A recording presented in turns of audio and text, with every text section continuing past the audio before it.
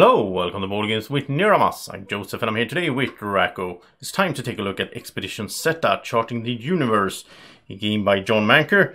And I'm excited to see how the component looks in this game. It's a big box, and I do like space games, so that looks good to me. And let's see here. Drako can hold the box. He, he, he's usually good at that and we'll take a look here. And so we have the um, rule book, pretty thick and so on, looks good. Then we have some dials here. All right. We have a discovery values. It seems like I'm opening it from the wrong side.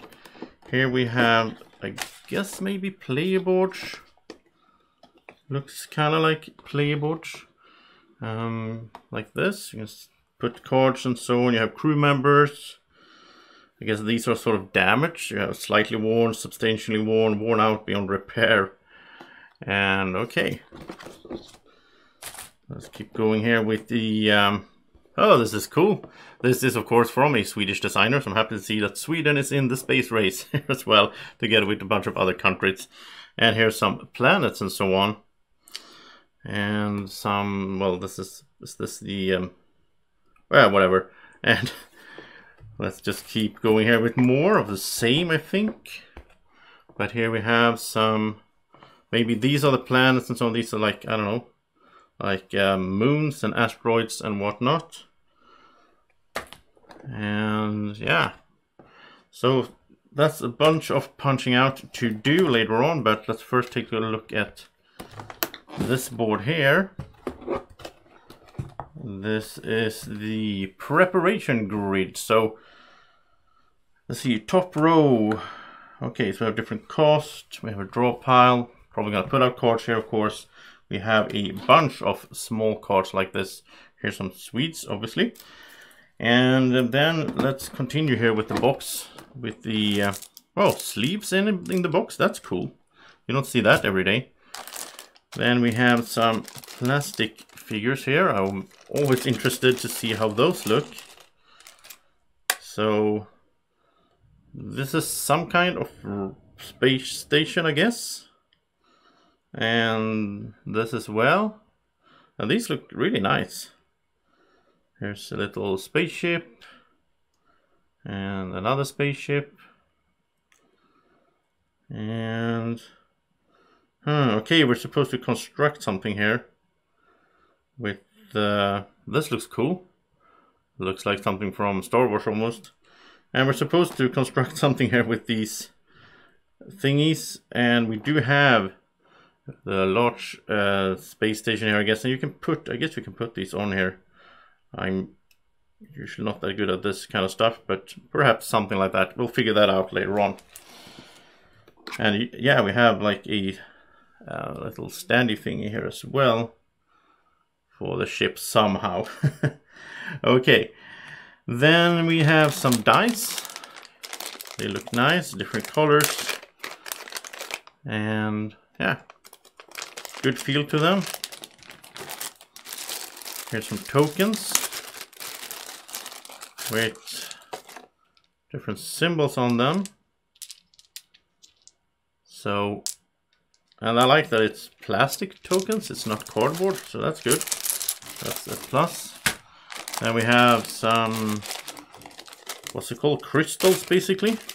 We have these in different color, they look awesome. I love when games use these kinds of crystals. And here's some larger ones. Oh, now this looks really nice. So uh, maybe these are the same but in like a higher uh, number count. And for the dials, I guess, these thingies and some two bags. We're gonna pull some stuff from a bag. Here's some baggies as well, which is awesome when the publisher put that in the box. And then we have all these cards, so let's take a look at those as well. So I open up the cards here and we have the sweets. Let's start with those. So Dr. Corbori. Once per system, you may double the amount of dice your team uses in a discovery attempt. Can be used while helping another player. And yes, we have all these different countries are out in space, obviously. I guess they all have like special abilities. Here's some uh, play rates, which is nice. Love when they have this, so it's easy to find. You don't have to go through the rule book all the time. And the turn. Your spaceship has a tractor beam. Maybe it's sort of upgrades or something, or like I think these. No, these are the different ships that we have in the, the mini. So I guess these are special abilities that the ships have. Here's some events with danger, and so on. An artifact. Okay. It's always like I do these unboxings. I don't really know what I'm looking at, but it's fun. Some adaptive living warp crystals. That sounds cool. And nanobots. Bunch of these. Then we have some under repair. Okay. Over here we have some cards for, hmm, not really sure what these are. And yeah, a lot of, of numbers and colors and all that. They will make sense once I learn how to play the game. Then we have bacteria-like proof. So there's like some alien life maybe. Viral specimen. Unexplainable microbe specimen. I like this stuff. Humanoid bodily remains. so definitely an alien there. And yeah, so we have the sort of, yeah, this is probably like the alien deck or something. And we have some people here. Maybe it's, I guess it's the crew guys that we can get on the crew. So, and they have like Erna here is an Exostar analyst. She has some symbols as well, so she she's probably good at certain things and so on, or can help you out in certain ways. Leo uh, is the extra product engineer. Kind of looks like uh, a guy I know that's named Leo that is working for this company. That's kind of funny. Um, Here's Alex, Exo Professor. Cool stuff. Okay. So then we have finally these cards. Preparation cards. Movement, action, warp. And here's some crew, two member crew card with equipment and here's different planets of course as well.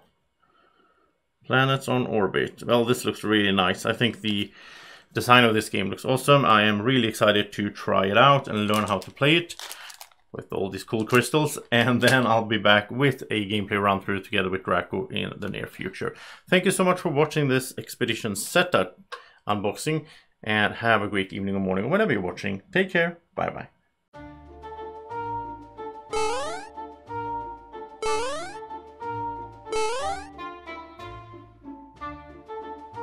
Be like Drako.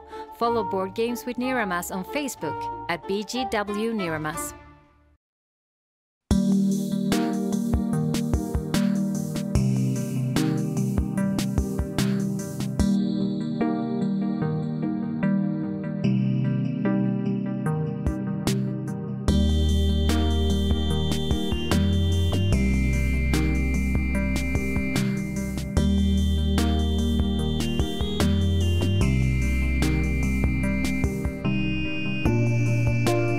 Board Games with Niramas is sponsored by Alara Games in Sweden.